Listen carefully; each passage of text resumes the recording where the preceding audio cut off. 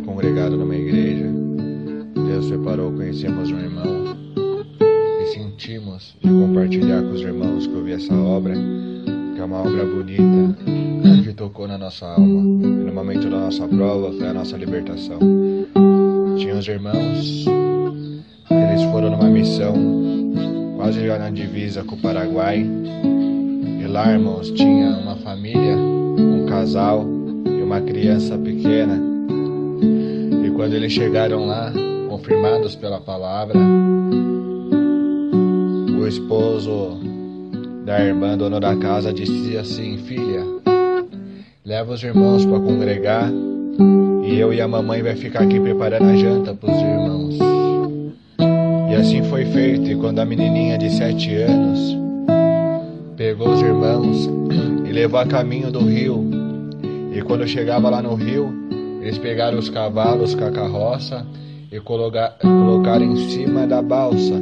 E quando eles foram atravessando a balsa, um dos cabos de aço se corrompeu e aquela balsa veio descer rio abaixo.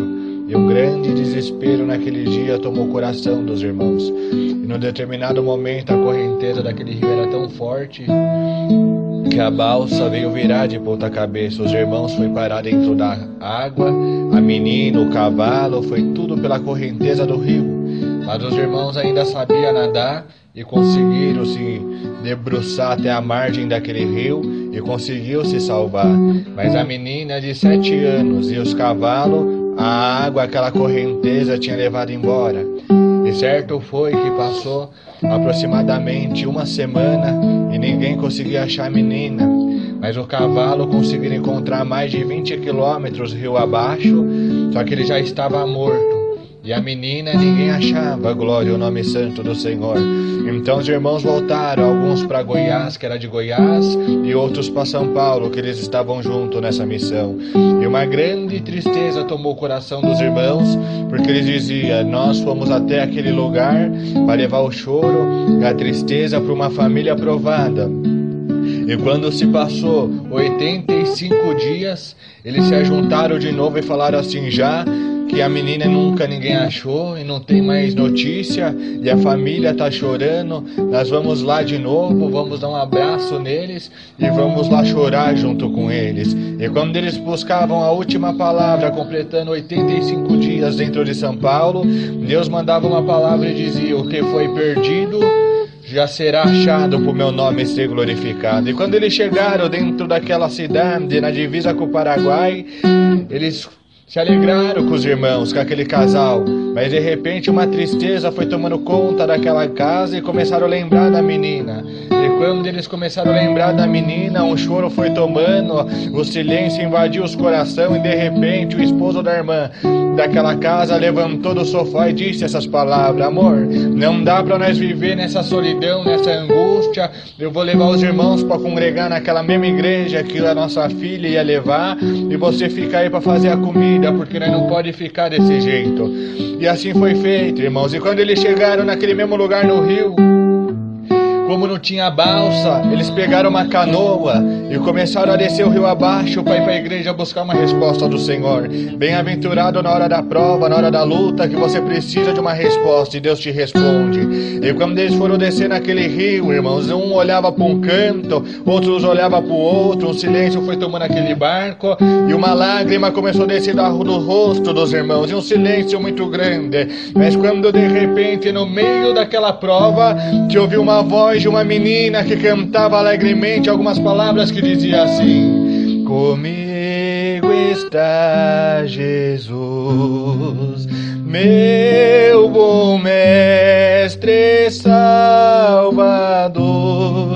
que sempre me ensina por seu imenso amor as coisas lá do céu, Jesus revelará no seu bom caminho.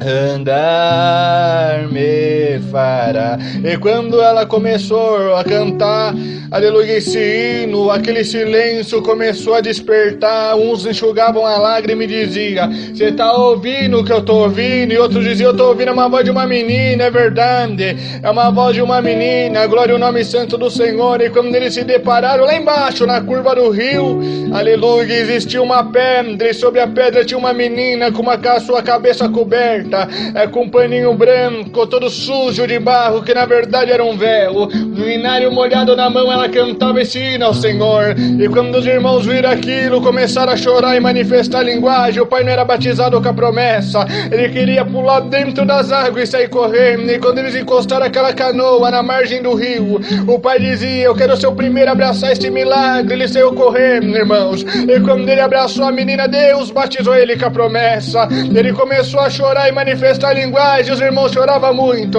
E num determinado momento, quando eles se deram por conta, eles se perguntaram: Menina, responde para nós. Faz 87 dias que você está desaparecida no meio dessa mata. Faz 87 dias que você está aqui sem comida, sem ninguém, no meio desse frio, no meio dessa guerra. Como você conseguiu sobreviver sozinha todo esse tempo? A menina olhou para eles e o mais bonito foi a simplicidade, irmãos. E um olhar de criança, ela dizia para ele: Irmãos, quem disse que eu estava sozinha? Porque quando aquela balsa virou, e que eu caí dentro daquele rio. Eu peguei meu inário, minha Bíblia e meu véu. E quando eu ia afundando achando que eu ia morrer, eu lembrei das reuniões de jovens e menores. Por isso é importante, moço, moça, é você não deixar de servir o Senhor na tua mocidade.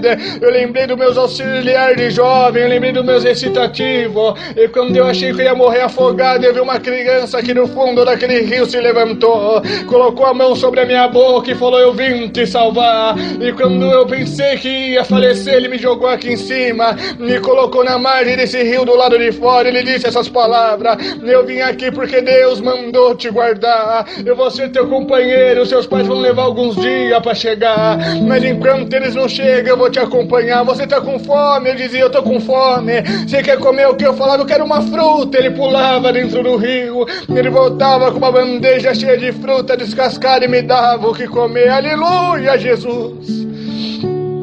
E quando eu dizia, eu tô com frio, eu preciso dormir, ele falava, eu vou fazer uma fogueira para te esquentar. Ali tem um cobertor, um endredom para você se cobrir. E quando eu ia quase dormindo, eu olhava para ele e dizia, mas você não vai dormir? Ele falava, não. Aleluia, você tá vendo minha farda, você tá vendo a espada, eu sou aqui um soldado e eu não posso dormir. Minha missão é te guardar e te vigiar, mas dorme, porque amanhã eu preciso conversar com você. E quando chegava no dia seguinte que eu acordava, ele vinha me contar as grandezas que existe lá no céu. Ele me contava a respeito das ruas de ouro, as passas de pedra reluzente, e dizia que valia a pena ser fiel, porque um dia se eu guardasse a palavra e honrasse o Senhor, eu ia conhecer a mesma cidade, como Jacó, Isaac, Abraão e os demais alcançaram. Então vale a pena ser fiel. E os irmãos ouvindo tudo isso choravam e se alegravam e diziam verdadeiramente: a palavra de Deus é verdadeira, Deus cumpriu cumpriu a palavra, pegaram a menina e voltaram para casa chorando, como aleluia, manifestando, agradecendo a Deus pelaquela vitória alcançada da mão do Senhor. 87 dias, uma menina de 7 anos sozinha, e Deus poupou a vida dela e mandou um anjo para cuidar dela. E a menina, quando chegou em casa, ainda dizia: Mas tem mais, irmãos, quando aquele anjo, quando foi hoje pela manhã, ele me acordou e disse essas palavras: Moça, se levanta, pega teu véuzinho, teu inário, porque teus pais estão chegando com os irmãos de Goiás e São Paulo, e eu preciso partir porque minha missão acabou, eu preciso subir. Mas abre o e começa a louvar o Senhor cozinho de jovem. Seus pais estão chegando, mas um recado para eles é que aonde eles passar e Deus a graça de contar esse milagre, aqueles que estiver provando, angustiando por terra, acreditando no dom de Deus e nas obras que Deus ainda opera no nosso meio, Deus vai operar uma grande obra, Deus vai levantar a fé, vai levantar a cabeça do abatido, do provando e ainda dá um recado para os irmãos que o nosso Deus nunca mudou e nunca vai mudar. Glória ao nome santo do Senhor. E quando chegaram na casa do irmão, que a mãe da menina viu ela, a mãe desmaiou. Mas quando ela voltou em si, que ela deu um abraço na sua filha, Deus batizou ela com a promessa. Aleluia, estão lá vivendo felizes. O nome de Deus está sendo glorificado nessa manhã. Por isso, vale a pena a tua fidelidade, a tua sinceridade com o Senhor, independente da tua prova. Nunca negue o teu Deus, porque Deus te ama. Deus abençoe a todos.